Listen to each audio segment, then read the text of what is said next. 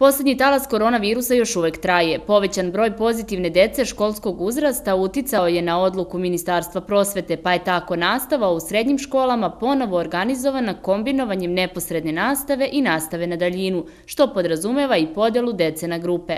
Situacija u požeškim srednjim školama za sada je stabilna. Pa mi smo odlukom Ministarstva prosvete drugom polugodištu krenuli e, takozvanim drugim metodom, to je kombinovan metod. E, epidemiološka situacija je za sad povoljna, e, sporadično imamo ovaj učenike koji su u izolaciji pozitivni i kolege, međutim još uvek nastava, nastavu održavam bez ikakvih problema. I u tehničkoj školi u Požegi beleže se samo povremeni slučajevi, pa se nastava i u ovoj obrazovnoj ustanovi odvija normalno.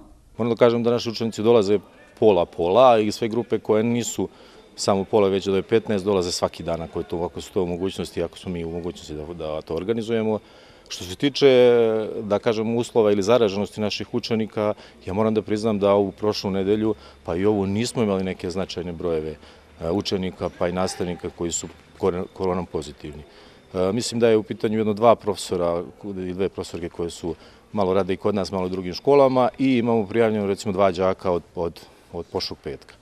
Kada je u pitanju poljoprivredna škola Ljubomićić, s obzirom na činjenicu da u sklopu škole postoji domski smeštaj, našli su način kako da usklade propisani model nastave sa boravkom u domu kako bi olakšali učenicima koji nisu iz naše opštine.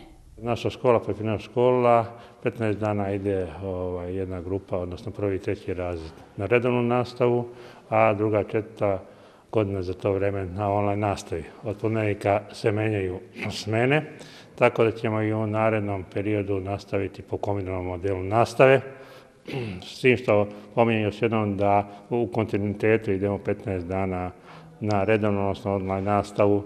Ovaj, to je jedan izuzetak, upravo zbog toga što u sklopu škole imamo dom i zbog toga što su stanari doma iz udaljenih mesta, iz udaljenih krajeva zapadne Srbije i onda smo našli možda najbolje rešenje i za učenike, pa i za nas, a pre svega i za roditelje da finansijski ovaj, lakše podnesu, da kažem, troškove školovanja.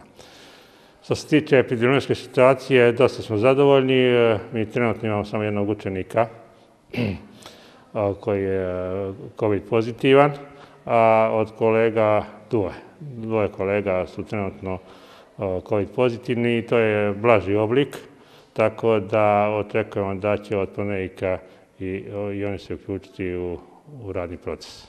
U Domu zdravlja u Požegi ističu da je primetan povećan broj javljanja u COVID ambulantu od strane dece školskog uzrasta, ali da simptomi nisu zabrinjavajući. Uglavnom su na nivou prehlade uz bol glave što često navode kao jedan od simptoma. Do sad su bila uh, uglavnom mala deca, a imalo je duše, kažem, i školalaca, ali manje čini nam se da kreće malo veće razbolevanje uh, školske dece, ali na svu sreću za sada klinička slika kod dece u većem broju slučajeva uh, relativno laka, ili tako da kažem. Ministar prosvete, nauke i tehnološkog razvoja doneo je odluku da za učenike osnovnih i srednjih škola neradni dani budu i 17. i 18. februar, čime će spajanjem vikenda, državnog praznika i dodatna dva dana učenici imati ukupno 9 slobodnih dana, a prvi radni dan biće ponedeljak 21. februar.